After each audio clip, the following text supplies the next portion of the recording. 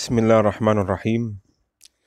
نستكمل مع بعض شرح قانون الجمارك رقم 207 لعام 2020 ده الفيديو رقم اتنين. وإن شاء الله الزملاء المتقدمين لمسابقة مصلحة الجمارك في آخر الفيديو كده هجاوب على عدد من الأسئلة الهامة والمكررة. فياريت. تشوفوا الجزء الأخير عشان أجاوب فيه على الأسئلة دي. كنا وقفنا عند المادة رقم 16 ودي هامة جدا جدا خاصة بالوعاء الضريبي. إزاي نحدد الوعاء الضريبي؟ يعني إيه الوعاء الضريبي؟ يعني القيمة اللي هحسب عليها الضريبة الجمركية. القيمة اللي هضربها في النسبة اللي هي التعريفة الجمركية. عشان أتوصل الضريبة الجمركية. فقال لك قيمة الوعاء الضريبي عبارة عن حاجتين قيمة البضاعة البضاعة نفسها قيمتها قد إيه؟ أنت بتستوردها دي. زائد أي مصاريف أو تكاليف تحملتها على البضاعة حتى ميناء الوصول لحد ما وصلت. كل ده بتكتبه في الإقرار التفصيلي. ماشي تعالى بقى نشوف الجملة اللي فاتت دي عليها ملاحظات كتيرة قوي. تعال نقراهم. أولا لو القيمة بالنقد الأجنبي طبيعي هنحولها العملة المحلية بناء على سعر الصرف المعلن من البنك المركزي في آخر يوم أو السعر المعلن بقرار من الوزير. الملحوظة التانية قيمة البضاعة هو المبلغ المدفوع فعلا أو المستحق الدفع. يعني إيه؟ يعني البضاعة دي بمليون دولار. أنت كمستورد دفعت نص مليون دولار. أحاسبك على إيه؟ المليون دولار طبعا. يبقى أساس استحقاق. العبرة بكامل القيمة حتى لما دفعتش منها جنيه. تعالى بقى نشوف إيه التكاليف اللي بتضاف للوعاء وإيه اللي ما بيتضافش. اولا عشان أضيف التكاليف لازم ما تكونش دخلت ضمن قيمة البضاعة. تمام؟ ما هضيفها بقى يبقى مش مش ضمن ضمن قيمة البضاعة الأصلية. قال لك عمول العمولات والسمسرة باستثناء عمولات الشراء التي تدفع الوسطاء. يعني السمسار اللي جاب لي المصدر الصيني ده ولا الأمريكي بديله عمولة ما بتدخلش ضمن الوعاء لكن بقية العمولات العادية عادي. تكلفة الأوعية والتعبئة والتغليف التي تخص البضاعة ولازمة لها. البضاعة دي جاية متغلفة حلو؟ يبقى لا تمن الأغلفة دي يدخل. حتى لو الغلاف منفصل بس يكون بيخص البضاعة. لكن لو الغلاف لا يخص البضاعة لا يبقى ده يتحاسب لوحده. يبقى الأغلفة دي صفقة لأن كل إحنا متفقين إن كل بضاعة وكل سلعة لها نسبة معينة في إيه؟ في التعريفة الجمركية تكلفة نقل السلع المستوردة والمناولة وتكاليف الشحن والتأمين والتفريغ اللي هي الحاجات كلها اللي بصرفها لحد ميناء الوصول. لو افرض تكاليف الشحن والتأمين أو النولون النولون ده اللي هو الشحن يعني. مفيش فواتير للحاجات دي. نعمل إيه؟ نأخذ الأسعار المثيلة في أقرب تاريخ حصل يعني. أسعار الحاجات دي حسب الكميات طبعا. العوائد ورسوم الترخيص تراخيص والمدفوعات المتعلقة بالبراءات والعلامة المسجلة وحقوق النشر والحاجات دي. ماشي. يعني أنت جايب بضاعة لها حق امتياز أو لها يعني متسجلة باسم شركة معينة. أنت خدت البضاعة وهت... وهتنزلها باسمها اللي هو العلامة التجارية. لازم تكون دفعت مقابل ده. تمام؟ ومصلحة الجمارك على فكرة قلنا الفيديو اللي فات بتراقب على الموضوع ده هتتحقق من الاشتراطات وإن أنت دافع حقوق الملكية والحاجات دي لايه للجهة الأصلية اللي بتملك الحق في المنتج أو براءة اختراع لحاجة معينة. قيمة أي مستحقات للبيع أو المصدر من حصيلة إعادة البيع أو التوزيع أو التصرف أو الاستخدام سواء مباشرة أو غير مباشرة متى كانت ضمن شروط البيع. بنسمع طبعا في لعيبة الكورة يقول لك إيه؟ إحنا بعنا اللعيب الفلاني ولو تم إعادة بيعه لفريق تاني ناخد عشرين في المية. هي دي. يبقى ساعات المصدر أو البائع بيشترط على المشتري يقول له أنا هديك السلعة دي بمليون دولار ولكن لو بعتها مثلا بأكتر من 2 مليون دولار هاخد 30% كمان. يبقى ال 30% دي تتحاسب جمركيا لأنها تعتبر جزء من قيمة البضاعة جزء من قيمة الصفقة حتى لو ما كانتش هتدفع دلوقتي. ده معنى الجملة دي. أعمال الهندسة والتطوير الأعمال الفنية اللي هي الحاجات الخدمية بس لازم تبقى في بلد غير مصر. ما تخضع للجمارك إزاي؟ أنا اتفقت مع مكتب يعمل لي رسومات هندسية مكتب بالخارج يعني. وبعت لي الرسومات دي تخضع للجمارك. حسب المقابل اللي أنا هدفعه لأداء الخدمة دي. طب في بقى تكاليف لا تدخل ضمن القيمة الجمركية. إحنا لسه قايلين حاجة منها عمولة الشراء. تكلفة النقل بعد الاستيراد. يعني خلاص البضاعة خرجت من الجمرك. لا ماليش دعوة. أي حاجة تتصرف بعد كده ملناش دعوة. الضرائب والرسوم المفروضة في مصر. في قاعدة بتقول أن لا ضريبة على ضريبة. لا ضري... يعني ضريبة القيمة المضافة مثلا هي أساسا أصلا بتتحسب بعد الضريبة الجمركية. فما ينفعش تضيف للضريبه القيمه المضافة وتحسب على ضريبة القيمة المضافة كمان ضريبة جمركية. ما ينفعش. مصاريف وأعباء التشييد اللي اي حاجة اتعملت في البضاعة بعد الاستيراد اتفقنا خلاص؟ أنشطة تسويق داخل مصر ما هي داخل مصر. مش حاجة من الخارج. تكلفة الأعمال الهندسية داخل مصر فوائد التمويل يعني الصفقة دي عشان أدفع قيمتها. خدت قرض ماشي. فايدة القرض دي لا تدخل ضمن التكلفة. تمام. طبيعي. يشترط للاعتراف جمركيا بالصفقة الا يكون هناك قيود على تصرف المشتري في السلع. عاملة كده زي معيار الإيراد. قال لك عشان الايراد يتحقق تبقى الحاجة دي ملكي. أقدر أتصرف فيها ما يبقاش في شروط مقيدة على تصرفي في الحاجة دي. صح ولا إيه؟ يبقى لازم تبقى الحاجة دي ملكي ملكية كاملة. نيجي بقى النقطه اللي هنتكلم فيها شوية. ألا يكون بين البائع والمشتري علاقة ارتباط تؤثر في قيمة الصفقة. آه. يعني إيه علاقة ارتباط؟ تعال نفهم يعني إيه علاقة ارتباط ونشوف هنعمل معاها إيه دي. علاقة ارتباط يعني المصدر والمستورد في بينهم مصالح من الآخر يعني. زي إيه؟ إذا كانوا موظفين أو مديرين أحدهما للآخر. واحد بيعمل عند الآخر يعني. إذا كانوا شركاء في عمل واحد. صاحب عمل ومستخدمين. يعني المصدر صاحب شركة مثلا والمستورد ده موظف أو ضمن المستخدمين. إذا كان أحدهما يشرف على الآخر بشكل مباشر وغير مباشر. ماشي.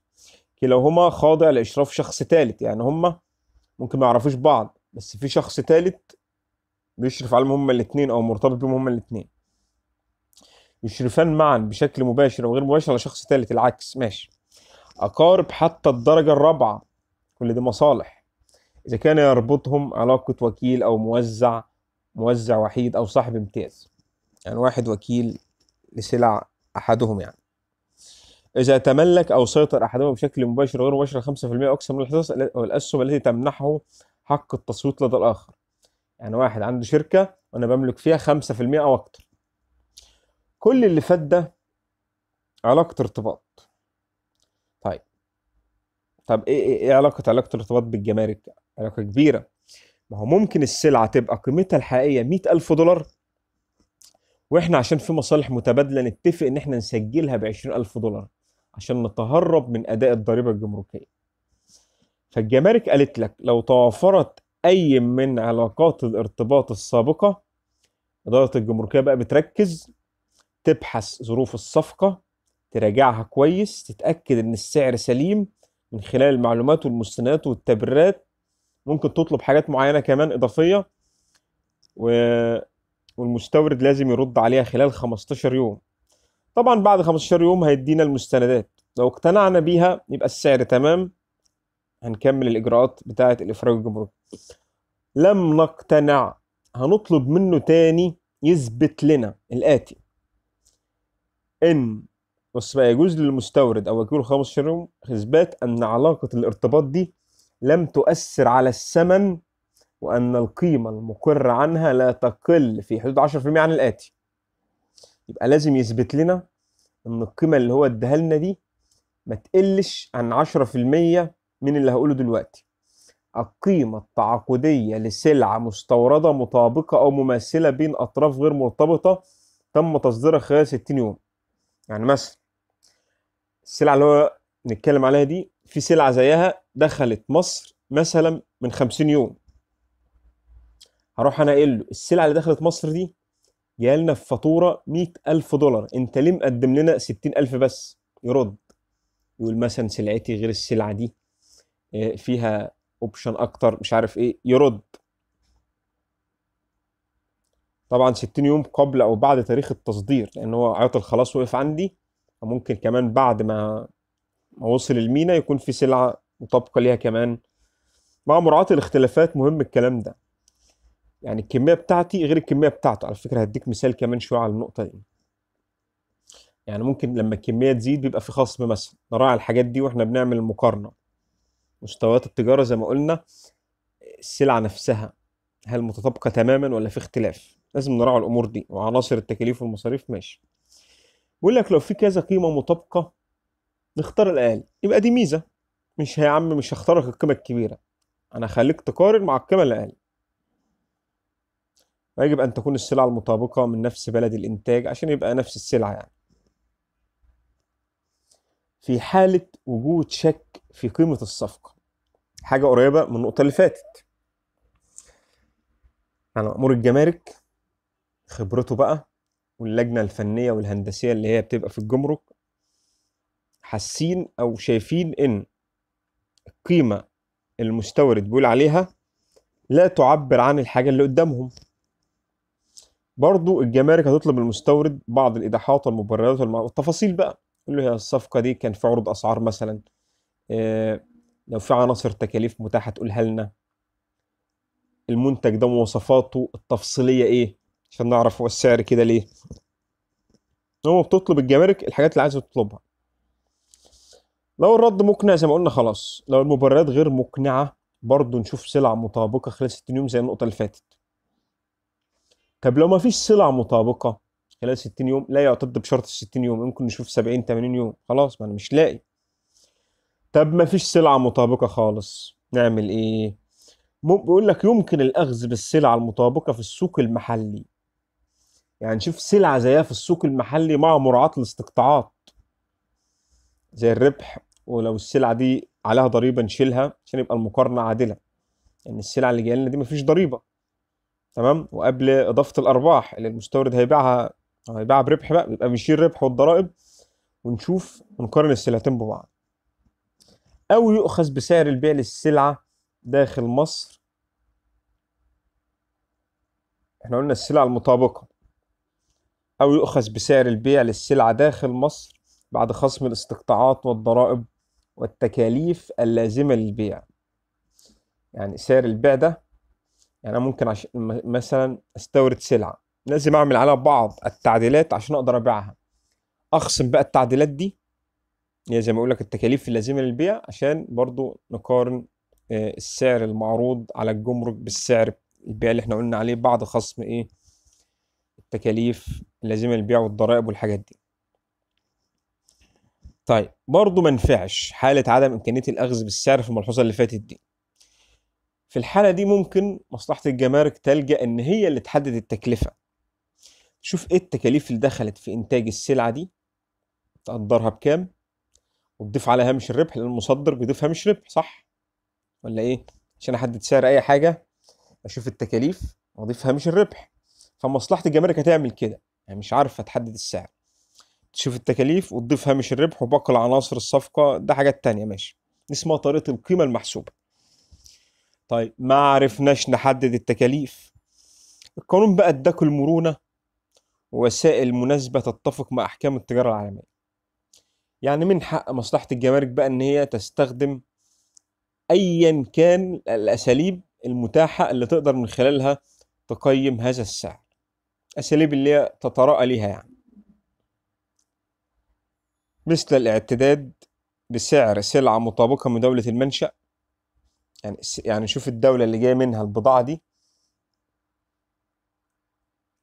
ونشوف سلعة مطابقة ليها. في جميع الأحوال دي مهمة أوي. لا يتم اتخاذ السعر جزافيا. يعني ما ينفعش نحط سعر كده بدون أي قواعد أو صوريا. ولا يعتد بسعر التصدير إلى دولة خارج مصر. ولا سعر البيع المحلي في بلد التصدير أو الإنتاج. سعر البيع المحلي لا. لازم يبقى سعر يعني سعر استيراد برضه أو تصدير يعني. بمناسبة الوعاء والكلام ده عندنا مصطلحين مهمين القيمة فوب والقيمة سيف. إيه الفرق بين القيمة فوب وسيف؟ القيمة سيف يقول لك إن البائع أو المصدر بيسلم البضاعة للمشتري في ميناء المشتري. يعني هقول لك أنا بستورد بضاعة من فرنسا. المصدر الفرنسي. هيسلم لي البضاعة في الميناء بتاعي في ميناء المشتري. يعني المصدر الفرنسي ولا بيتحمل تكلفة الشحن؟ كده يعني. هو هيسلمها لي في الميناء بتاعتي. هيتحمل الشحن والتأمين كمان. التأمين ده مرتبط بالحاجة اللي بتنقل البضاعة برضه. فهو هيتحمل التأمين والشحن. طب القيمة فوب المشتري هو اللي بيتحمل تكاليف الشحن والتأمين. ليه؟ لأن المصدر الفرنسي بيقول لك أنا هسلمك البضاعة على الميناء بتاعتي اللي هي الميناء في فرنسا يعني. أنا كمشتري أنا اللي هروح أستلمها من فرنسا. أنا هكلف جهة النقل تروح تستلم من فرنسا. أنا اللي هتحمل الشحن والتأمين. تمام؟ السؤال بقى ليك. الوعاء الجمركي بيبقى عايز القيمة سيف ولا فوب؟ ها؟ فكر كده يلا.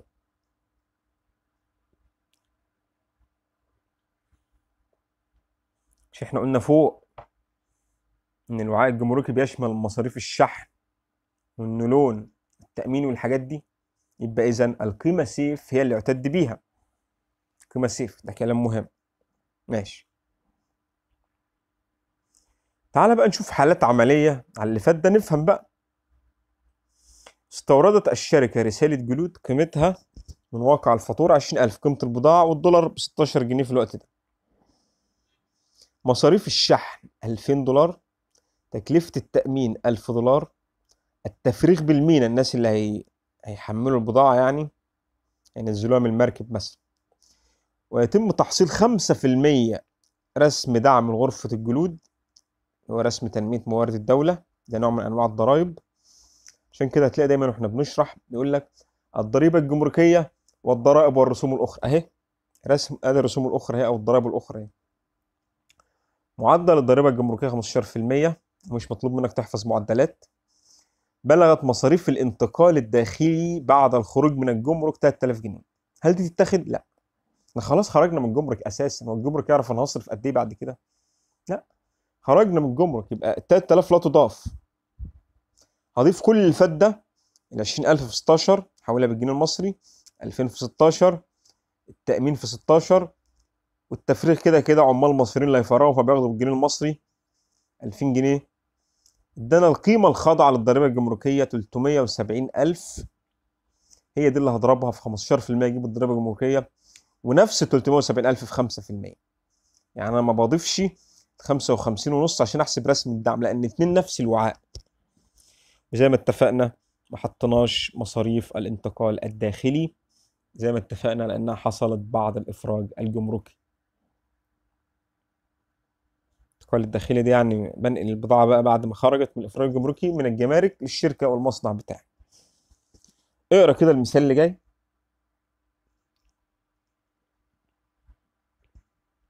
استوردت الشركة أحد الأصناف من أحد المصدرين بالخارج يعمل الذي يعمل بنفس الشركة الأم. آه. يعني أنا وهو بنشتغل في شركة كبيرة أم واحدة كده أطراف مرتبطة. السعر من واقع الفاتورة خمسين ألف دولار لعدد ألف وحدة مصاريف الشحن ألف دولار التأمين ألف ومتين دولار التفريغ 800 جنيه. معدل الضريبة الجمركية 20% علما بأن البضاعة سبق دخولها للبلاد يعني في بضاعة آه، مطابقة ليها. منذ 50 يوم بسعر 80 ألف دولار لعدد 2000 وحدة. علما بأن تلك البضاعة منحت خصم 10% نتيجة استيراد أكثر من 1500 وحدة السؤال هشتغل على 50 ألف دولار ولا ال 80 ألف دولار؟ هم؟ 80 ليه؟ لأن ده أطراف مرتبطة فواضح إن هم اتفقوا فيما بينهم على تخفيض السعر لتخفيض الجمارك لكن مأمور الجمارك هنا شاطر اكتشف إن هم بيعملوا بنفس الشركة الأم فبالتالي هيشوف سلعة مطابقة ليها ويعترف بالسعر بتاعها. وهنا لقى سلعة داخلة من 50 يوم مطابقة ب 80000 القانون قال لك إيه؟ مع مراعاة الكميات. والظروف التجارية. طب ما هنا في كميات يعني إيه؟ بص كده. بيقول لك البضاعة ام 80000 دولار دي واخدة خصم 10% كمان نتيجة إن أنا مستورد أكتر من 1500 وحدة طب وهي السلعة بتاعتي 1500 ده 1000 بس. يبقى كمان الخصم التجاري يتشال. يبقى هي أكتر من 80000 كمان. يبقى ال 80000 دي بعد حصول السلعة المطابقة على خصم تجاري 10% طيب سلعتي لا تستحق خصم خصم مش خصم خصم كمية مش خصم تجاري لا تستحق خصم كمية لأنها 1000 وحدة بس ما وصلتش 1000 ونص. يبقى أنا مطالب أجيب القيمة قبل الخصم اللي هو خصم الكمية. أجيبها إزاي؟ بالمقص. ال 80000 دي بتمثل 90% من القيمة. صح؟ ما أنا شايل منها 10% يعني الخصم إيه؟ كمية. يبقى القيمة الأصلية بتمثل 100% دايما القيمة الأصلية بديها 100% لأن هي اللي بضرب فيها في ال 10% عشان أطلع أي حاجة خصومات أو أي حاجة. يبقى 80000 في الكبير على الصغير في 100 على 90 عشان عايز القيمة تكبر يبقى في الكبير على الصغير ادانا خمس تمانيات. 88 888 ألف. تمام؟ 88000 يعني. يبقى هي مش 80000 كمان ولا 50 يبقى القيمة اللي هعترف بيها هتبقى 88888 جنيه زي التمرين اللي فات. بضرب في 16 أضيف الشحن أضيف التأمين أضيف مقابل التفريغ. طبعا الحاجات دي مش هعدل فيها. يعني خلاص تكلفة فعلية انفقت فعلا. مش هزودها بقى لأن القيمة زادت لا. يعني الناس فعلا بتوع الشحن والتفريغ والتأمين هياخدوا الفلوس دي. يبقى هي دي التكاليف الفعلية. ادانا القيمة الخاضعة للضريبة مليون ربعمية تمانية وخمسين ميتين وتمانية الضريبة الجمركية أضرب في عشرين في المية ادينا ميتين واحد وتسعين ألف. تخيل لو كنا اشتغلنا على خمسين ألف هتلاقي مثلا بدل ما الدولة هتاخد ميتين واحد وتسعين ألف هتاخد مثلا يعني مية وسبعين ألف مثلا. يبقى راح على الدولة مية وعشرين ألف في عملية واحدة. تمام؟ مقابل الخدمات.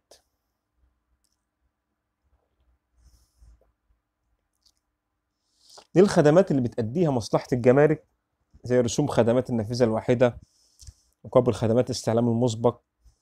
بيقول لك بقى الأعمال التي تكون بها المصلحة بطلب أصحاب الشأن في غير أوقات العمل الرسمية أو خارج الدائرة الجمركية. يعني مثلا مصلحة الجمارك أجازة يوم الجمعة في واحد عايز يخلص البضاعة بتاعته الجمعة مستعجل. لا يبقى هدفعه رسوم إضافية. أنت جايب الموظفين في أجازتهم. بما لا يجاوز 10000 جنيه. يبقى الخدمة في غير أوقات العمل لا تجاوز 10000 جنيه. مقابل الخدمات ده بيقول لك بيودع في حساب البنك المركزي باسم المصلحة بحساب الخزانة الموحد. ممكن نصرف من الحساب ده في تطوير وتحديث البنية التحتية والخدمية والموارد البشرية للمصلحة ولو اتبقى فائض نرحله في نفس الصندوق ده أو الحساب للعام القادم. تمام. طبعا اللائحة إن شاء الله لما تصدر رسميا هتحدد بقى مقابل الخدمات دي كلها قد إيه. يعني كل خدمة رسومها قد إيه. لم تصدر اللائحة التنفيذية بعد. الإعفاءات الجمركية لازم تعرفها. لازم تعرف الإعفاءات. في ثلاث مواد اتكلموا على الإعفاءات. أنا دمجتهم مع بعض.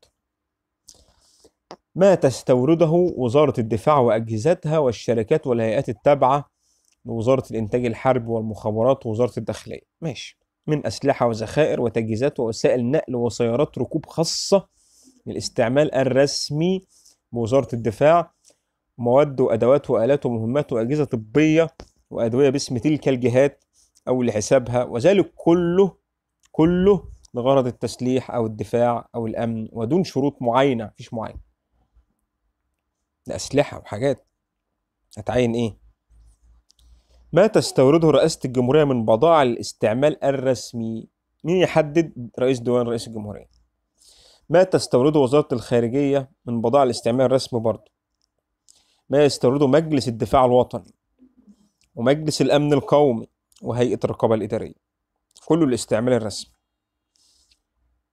نقطة سبعة بقى. الهدايا والهبات. والعينات والبضائع الممولة من المنح الواردة لمجلس الوزراء وحدات الإدارة المحلية والكلام ده وغيرها من الأشخاص الاعتبارية والهيئات القضائية. ماشي. مجلس النواب اللازمة لمزاولة أنشطتها. يعني مجلس الوزراء جاي له هدية من الخارج من دولة صديقة مثلا لا تخضع للجمارك. الأمتعة الشخصية الخاصة بالمسافر الشخصية. يعني المسافرين سواء مصريين أو سياح أو عابرين في القدوم والمغادرة. ملابس الشخصية أمتعة شخصية لا تخضع طبعا. الأشياء الشخصية المجردة من أي صفة تجارية؟ كالنياشين والميداليات والجوائز الرياضية والعلمية. طبيعي. دي حاجات أساسا يعني مش هاخد ميدالية أبيعها يعني أو أتاجر فيها. الأساس والأدوات والأمتعة الشخصية والسيارات التي سبق تصديرها للخارج بصفة مؤقتة والخاصة بأشخاص يعتبر محل إقامتهم الأصل مصر بشرط التحقق من عينتها. يعني أنا خرجت عربية بره مصر. هدفع جمارك. عربيتي. طب رجعت مصر تاني وأدخل عربية ما أدفعش بقى تاني. خلاص بقى هقعد أدفع. وكذلك الحاجات الشخصية. البضائع التي ترد من الخارج دون قيمة بدل تالف أو ناقص. عن بضائع سبق توردها أو رفض قبولها وحصلت الضريبة الجمركيه عليها على أن يكون الاعفاء في حدود الضريبة المسددة. يعني إيه الكلمة دي؟ جالي بضاعه بره مصر؟ من بره مصر؟ دفعت عليها الجمارك. بس البضاعة دي كان في منها حاجات تالفة أو معيبة أو غير مطابقة للمواصفات اللي اتفقنا عليها. بخاطب المصدر أقول له أنت جايب لي بضاعة تالفة هات لي غيرها. يروح جايب لي غيرها بدون قيمة مش تخضع بقى للجمارك ما هي القيمة الإجمالية خضعت قبل كده. صح؟ البضاعة التي تصدر للخارج ثم يعاد استيرادها بذاتها يعني هي شبه النقطة رقم 10 المؤن ومواد الوقود والمهمات والمعدات والأجهزة والقطع غير اللازمة لسفن أعلى البحار والطائرات وما يلزم لاستعمال ركابها وملاحيها في الرحلات الخارجية. يعني مثلا السفينة اللي نقلة البضاعة دي فيها وقود فيها مثلا أكل الحاجات دي غير خاضعة. يعني ده حاجات مش للتجارة ده حاجات لتسيير السفينة نفسها. الأمتعة والأدوات الشخصية والأساس المنزلي والسيارات الخاصة بأعضاء البعثات الدراسية. يعني أنا مسافر بعثة دراسية واخد احتياجاتي الشخصية حتى لو واخد عربيتي. دي ميزة كويسة معفية. يقول لك حتى سواء كان إفادة العضو على نفقة الدولة أو بمنح أجنبية أو على نفقته وذلك عند عودته النهائية بعد انتهاء دراسته أو عند عودة أسرته في حالة وفاته. الأمتعة هو راجع. وهو راجع. الأمتعة برضو والأدوات الشخصية والأساس المنزلي الخاص بأعضاء السلكين الدبلوماسي والقنصلي. السفارات بقى والقنصليات. وموظفي وزارة الخارجية العاملين بالبعثات الدبلوماسية. بالك ما فيهاش سيارات. ركز. وموظفي الوزارات الأخرى الملحقين بهذه البعثات والمعارين لهيئة الأمم المتحدة. كذلك المصريين العاملون بالخارج بجامعة الدول العربية والاتحاد الإفريقي. برضو معفيين ما حاجات شخصية.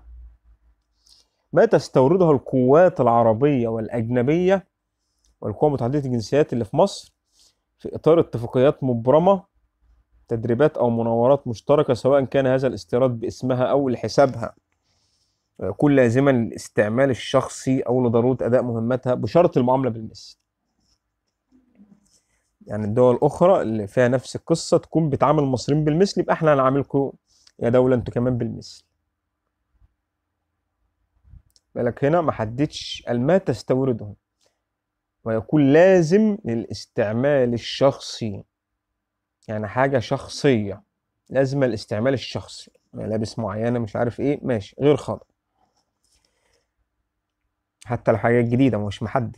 ما تستورده المستشفيات الحكومية والجامعية من أجهزة ومعدات مستلزمات طبية مشتقات دم أمصال وسائل تنظيم أسرة ألبان أطفال. باسمها أو لحسابها. وفق ما يصدره الوزير المختص. يعني الوزير المختص كمان ممكن يزود حاجات غير دي. الأشياء والجهات التي يصدر بإعفاء قرار من رئيس مجلس الوزراء بناء على اقتراح الوزير.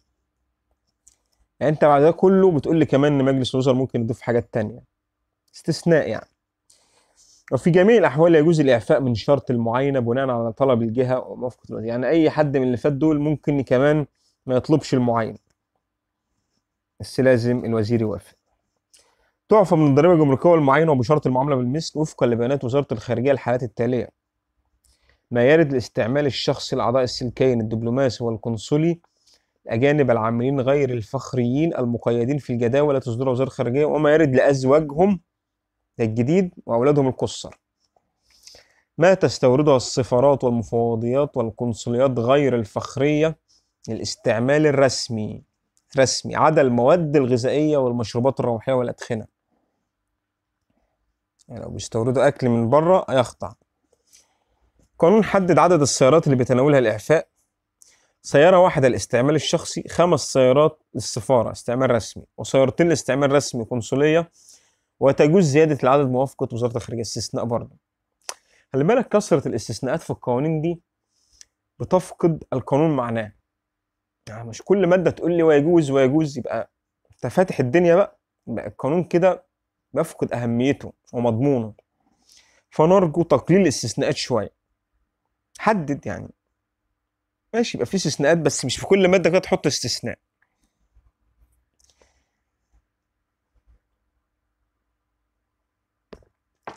برضه يعفى بشرط المعاملة بالمثل الأمتعة الشخصية والأساس والأدوات المنزلية وسيارة واحدة للموظفين الأجانب اللي هم ما استفادوش من بند ألف. بند ألف اللي فات اللي هو قدامك ده. مادة 22 هامة جدا جدا جدا.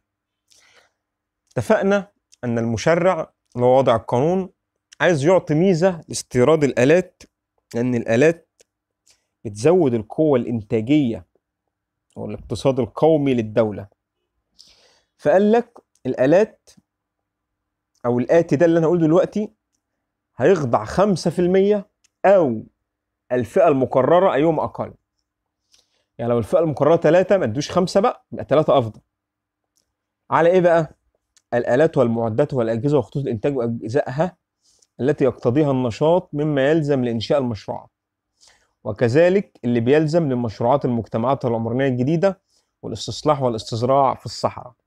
حلو ماشي.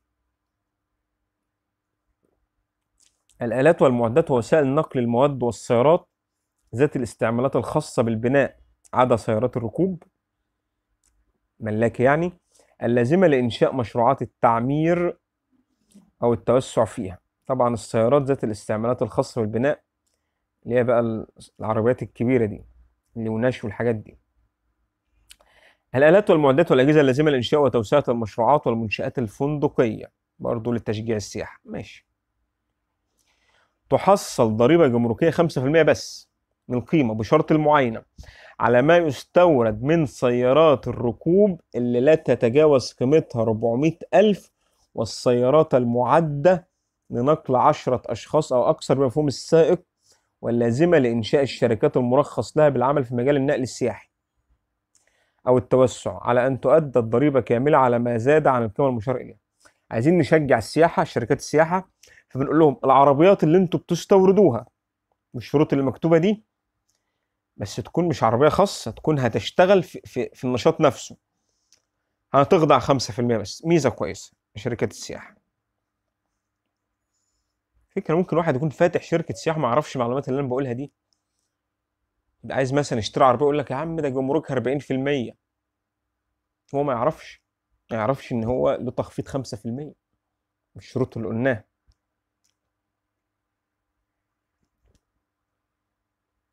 تخضع الإعفاءات الجمركية الأحكام التالية الحاجات اللي فاتت دي المادة اللي جاية دي مهمة بقى بيقول لك يحظر التصرف في البضاعة المعفاة سواء كان الإعفاء كامل أو جزئي أو بتخفيضات بأي نوع من أنواع التصرفات الناقلة للملكية لغير الأشخاص أو الجهات التي تتمتع بذات الإعفاء في غير الأغراض التي تقرر الإعفاء أو التخفيض من أجلها إلا بعد موافقة المصلحة وسداد الضريبة الجمركية.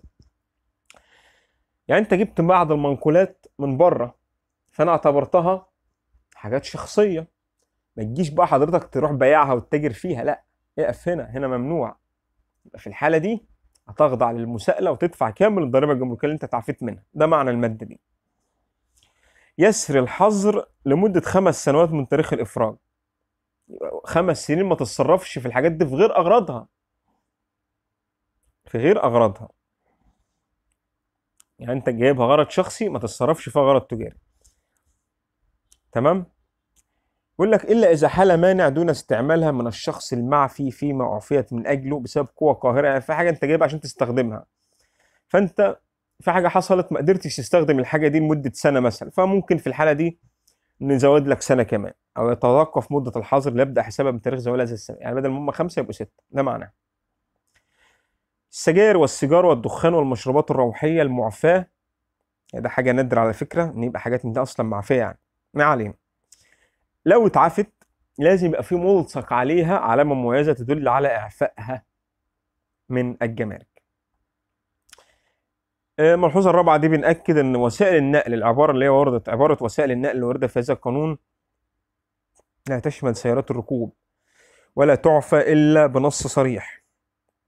يبقى السيارات الملاكي دي يعني مفيش حاجة اسمها إعفاء ليها. تلتزم الجهات المعفاة بإمساك سجل- سجلات ودفاتر منتظمة وأمينة أمينة يعني مصطلح غريب شوية تخضع لرقابة المصلحة للتأكد من استعمال الأصناف المعفاة في الغرض اللي أعفيت من أجله. يعني بقول لك لازم تبقى ماسك دفاتر. أنا عافيتك امسك بقى دفاتر عشان ممكن أراجع أروح أراجع على شركتك وأشوف أنت الإعفاء سليم ولا لأ.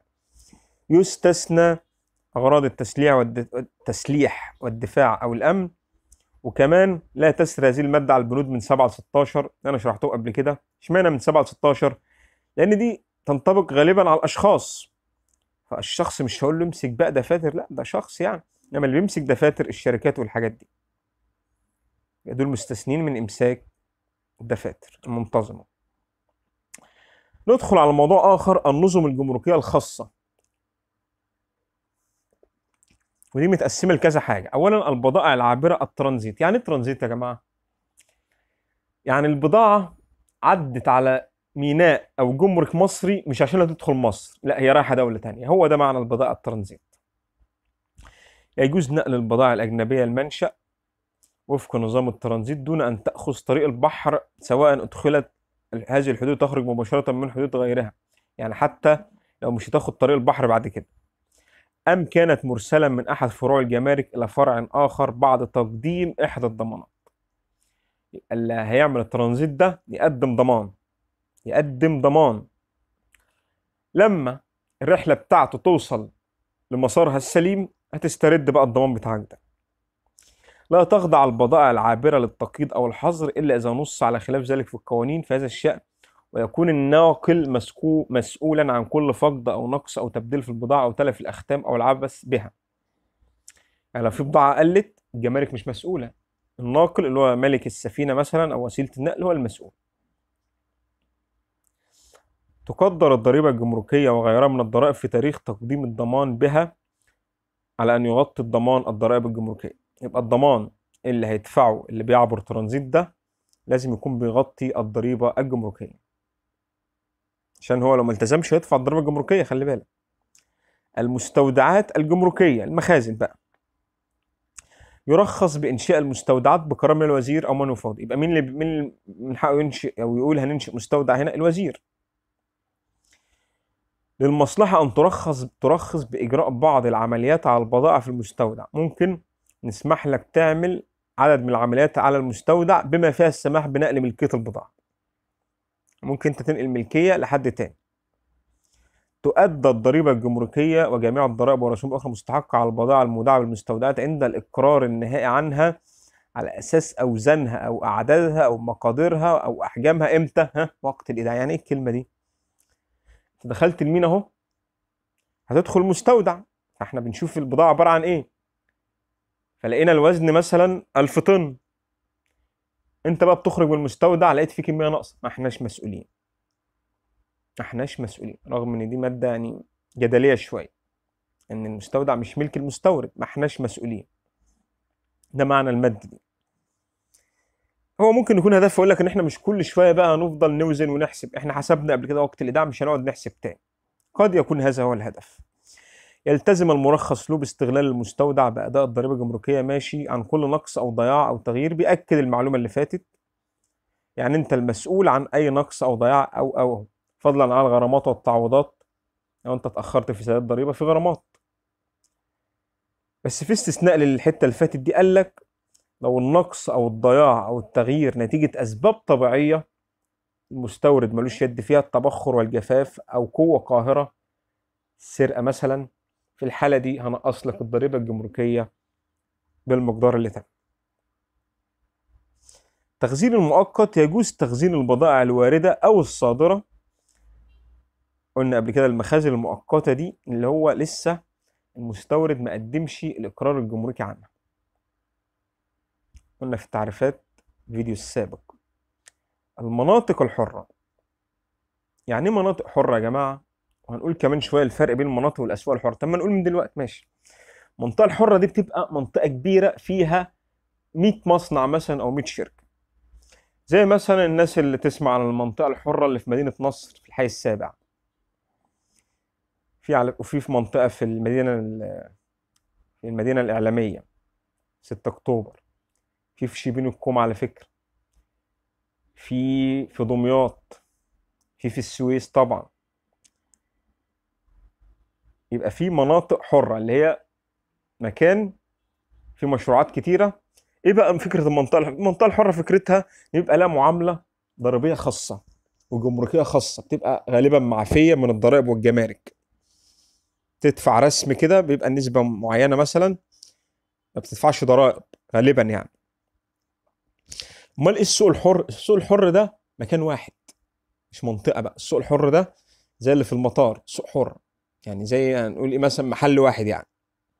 وعلى فكرة الأسواق الحرة مش في المطارات بس لأ في أسواق حرة في, في مناطق عادية. يعني في في مصر الجديدة سوق حرة في في المهندسين. شفت أنا الحاجات دي؟ في في اسكندرية. مكان كده سوق حرة. مين اللي بيشتري من الحاجات دي؟ آه طبعا الناس اللي هم المسافرين خلال مدة معينة بيقدروا يشتروا بدون رسوم جمركية. ماشي. نقرأ بقى. يتعين على الهيئة العامة للاستثمار والمناطق الحرة. الفكرة ده اسم حاجة واحدة. هي اسمها الهيئة العامة للاستثمار والمناطق الحرة مش مش حاجتين يعني. قبل الترخيص بإنشاء المناطق الحرة استطلاع رأي المصلحة. يبقى لازم اللي بينشئ الهيئة اللي بتنشئ المناطق الحرة دي لتشجيع الاستثمار المفروض يعني. لازم تستطلع رأي مصلحة الجمارك في الشروط والمواصفات. ولو مصلحة الجمارك ما ردتش الهيئة بتكمل في الإجراءات. وفي جميع الأحوال عند صدور قرار مزاولة النشاط أو تعديل أو إلغائه لازم أخطر الجمارك لأن الجمارك بيبقى لها ممثل في المناطق الحرة دي وكمان الأسواق الحرة على فكرة.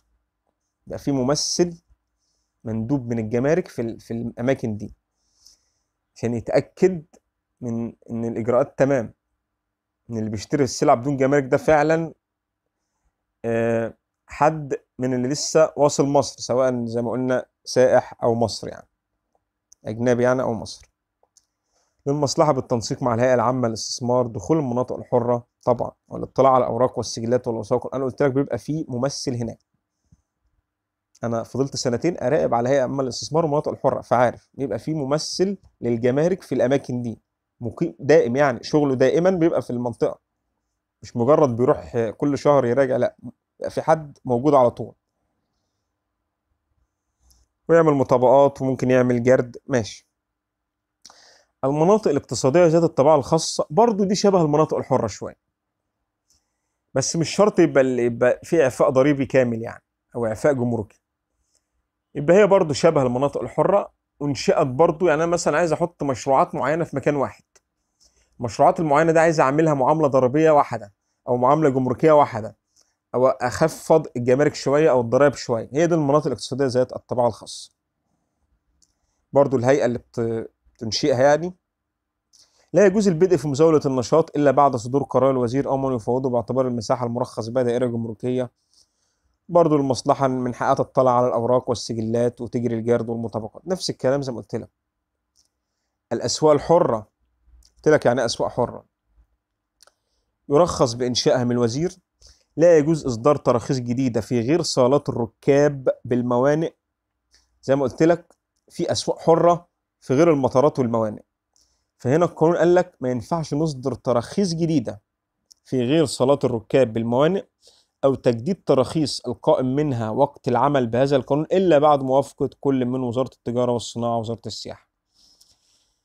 يبقى المكان اللي هتعمل فيه سوق حرة لازم وزارة التجارة والصناعة والسياحة يوافقوا. تحدد اللائحة التنفيذية لهذا القانون قواعد العمل بها والبضائع التي تعرض تعرض ومدة بقائها والضمانات. ماشي يبقى اللائحة هتقول القواعد لعمل الأسواق الحرة اللي هي اللائحة لسه ما صدرتش زي ما اتفقنا. تؤدى الضريبة الجمركية وجميع الضرائب والرسوم الأخرى المستحقة على البضائع المفرج عنها من الأسواق الحرة إلى داخل البلاد في تاريخ البيع. في تاريخ البيع الضريبة الجمركية بتتحسب على الأسواق الحرة دي. لما أجي أبيع يعني ال- المستهلك يعني. تلتزم الجهة المستغلة للسوق الحرة بأداء الضريبة الجمركية عن كل نقص. أه ده معلومة مهمة بقى. ما هو أنت السلعة دي جاية معفية من الضرائب والجمارك. فأنت ما ينفعش تبيعها. قلت لك غير للناس اللي هم ال- القادمين لمصر يعني. خلال مدة معينة. فلو حاجة ضاعت ممكن تكون أنت بعتها بقى سوق محلي. يعني في سلع على فكرة بيبقى عليها جمارك رهيبة. فلما تتباع سوق محلي المكسب كبير. فأي ضياع أو تغيير في أوزان أو أعداد أو مقادير الحاجات دي هتدفع الغرامات وكمان الضريبة الجمركية كاملة. يعني ما ينفعش حاجة من دي تضيع. لأن هي بتبقى سعرها مخفض جدا. تتباع للمسافرين دول بسعر مخفض جدا. من غير جمارك ولا ضرائب. لا تستحق الضريبة بس استثنى إيه بقى؟ قال لك لو في أسباب طبيعية للضياع زي ما اتكلمنا قبل كده تبخر الجفاف أو قوة قاهرة في الحالة دي خلاص بقى مش الموظفين اللي في السوق الحر هم المسؤولين. ده في قوة قاهرة حصلت أو في قوة طبيعية مثلا حصلت أو ظاهرة طبيعية حصلت هي اللي أدت لكده.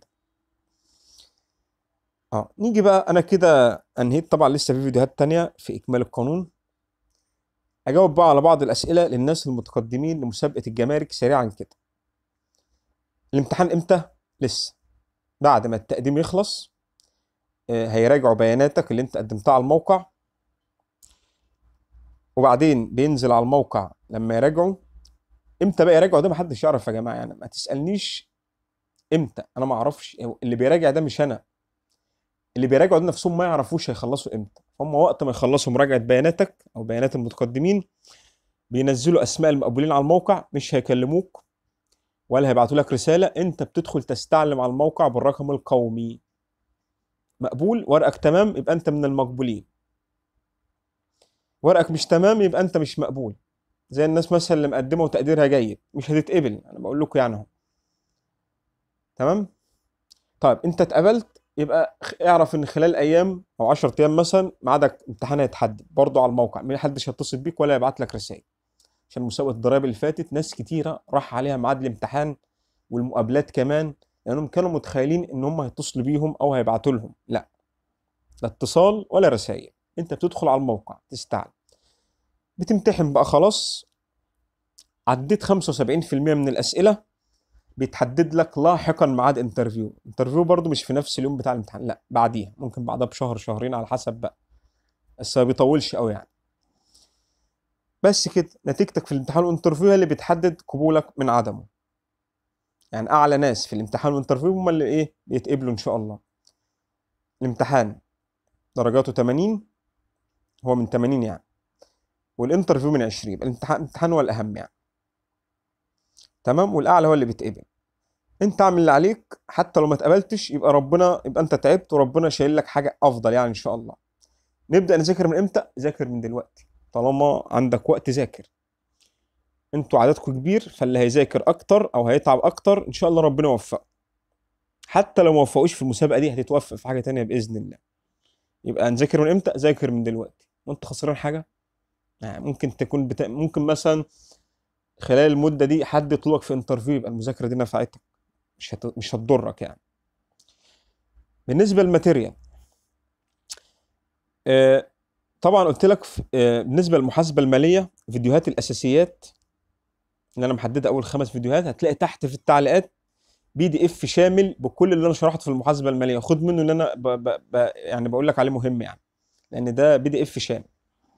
فشوف الخمس فيديوهات دول اللي بيخصهم في ال PDF ده إيه.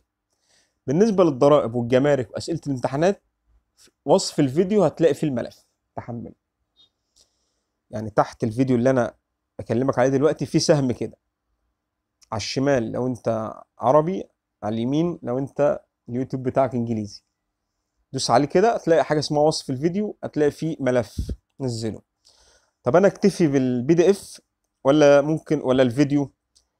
براحتك. في ناس بتذاكر من ال PDF بس. أنا نصيحتي لازم الفيديو الأول. نصيحتي خد بيها وما تاخدش براحتك. الفيديو اولا هيفهمك فهيقلل وقت المذاكرة بتاعك. يعني ما تذاكر حاجة أنت فاهمها غير لما تذاكر حاجة عمال تحفظ بس يبقى هتنسى. تمام؟ يبقى أنا نصيحتي ليك اسمع الفيديو الأول وكمان الفيديو ساعات بقول حاجات مش في ملف ال PDF في أسئلة الامتحانات كمان كنت بعمل كده يعني. يعني وأنا ب... وأنا بعمل فيديو كده بيجي على بالي حاجة ممكن أقولها مش في الملف. آه، بالنسبة ل فئه ألف. ده بقى سؤال بيجي لي كتير. فيديوهات الضرائب أنا عامل حوالي 22 فيديو مثلا في ال- البلاي ليست الخاصة بالضرائب. هل هنذاكرها كلها كمسابقة الجمارك؟ لا مش كلها. أنت هتذاكرها كلها فيما عدا اللي هقوله دلوقتي. ركز معايا. في فيديوهين أنا عاملهم في قانون الإجراءات الموحد. ده مش عليك لأنه ما حددش في القوانين قانون الاجراءات الموحد. يبقى الفيديوهين دول ما تسمعهم مش عايز تسمعهم ليك كمعلومات يعني ماشي لكن كمسابقة لا. في فيديو عن الضريبة المؤجلة. الضريبة المؤجلة ده أصلا معايير يعني مش مش ضرائب أصلا. يعني اللي هيسمع الفيديو ده أصلا هتلاقيني بشرح معيار اسمه الضريبة المؤجلة مش بشرح ضرائب بالمعنى الأدق يعني. برضو الفيديو ده عشان المسابقة ما تسمعوش لو أنت بتذاكر المسابقه بس. في فيديو عن المقاولات. الفيديو ده من أول الدقيقة مثلا 16 أو 17 بشرح فيه المعالجة الضريبية للمقاولات. ده عليك. يبقى فيديو المقاولات الموجود في البلاي ليست ده عليك. المعالجة الضريبية للمقاولات عليك. عايز بقى تسمعه كله تسمع من أول المعالجة الضريبية براحتك بس اسمعه من الأول عشان تبقى فاهم أنا بتكلم في إيه. يعني هدفي من الفيديو إيه فلما تيجي النقطة بتاع المعالجة الضريبية في شركات المقاولات تفهم. في فيديو أنا عامله على الضريبة العقارية. المفروض ان قلت ثلاث أنواع وأنا بشرح الفيديو ده. ضريبة الثروة العقارية عليك ضريبة التصرفات العقارية عليك. في بقى النوع الثالث الضريبة على العقارات المبنية مش عليك. مش عليك. بس لكن بقية ال playlist عليك. لأن بقية ال playlist بتتكلم على الأشخاص الطبيعية والاعتبارية والحاجات دي كلها.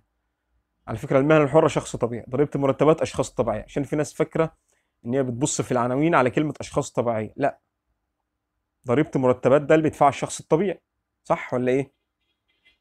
المهنه الحرة برضه شخص طبيعي يبقى كل ده عليك يبقى اللي مش عليك قلته لك.